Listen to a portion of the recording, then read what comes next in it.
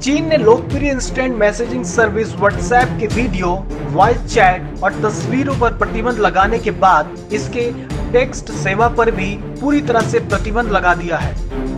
इससे फेसबुक के मुख्य कार्यकारी अधिकारी मार्क जुकरबर्ग को चीन में दोबारा पाँव पसारने के प्रयास को झटका लगा है। सीएनएन की रिपोर्ट के अनुसार सेंसरशिप निगरानी और ट्रैफ़िक जोड़तोड़ की पहचान करने वाले एक वैश्विक observation network open observatory of network interference के अनुसार चीन के इंटरनेट सेवा प्रदाताओं ने व्हाट्सएप पर प्रतिबंध लगा दिया है। रिपोर्ट के अनुसार कुछ लोगों ने 19 सितंबर को ट्विटर पर व्हाट्सएप बंद होने की ओर इशारा किया था। पिछले कुछ महीनों से चीन में व्हाट्सएप सेवा में कुछ बाधाएँ भी आ रही थी।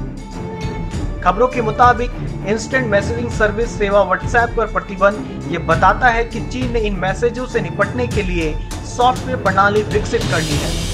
ये प्रणाली इंक्रिप्शन प्रणाली पर निर्भर करती है, जिसका प्रयोग व्हाट्सएप के अलावा अन्य सेवाओं में किया जाता है। ये कदम ऐसे समय में उठाया गया है जब 18 अक्टूबर को कम्युनिस्ट पार्टी कांग्रेस की बैठक होने वाली है। जिसमें राष्ट्रपति शी जिनपिंग अपने दूसरे पाँचवें वर्ष से कार्यकाल की शुरुआत करेंगे। चीन इससे पहले फेसबुक इंस्टाग्राम ट्विटर और गूगल जैसे इंटरनेट कंपनियों पर प्रतिबंध लगा चुका है। यहाँ वर्ष 2009 से फेसबुक और वर्ष 2014 से इंस्टाग्राम पर प्रतिबंध लगा हुआ है। वहीं व्हाट्सएप ने इस घटना पर किसी तरह की कोई आधिकारिक घोषणा नहीं की है। कुछ लोग हालाँकि वर्चुअल प्राइवेट नेटवर्क के ज़रिए या इंटरनेट ट्रैफ़िक में हेरफेर कर इन सेवाओं का इस्तेमाल करते हैं।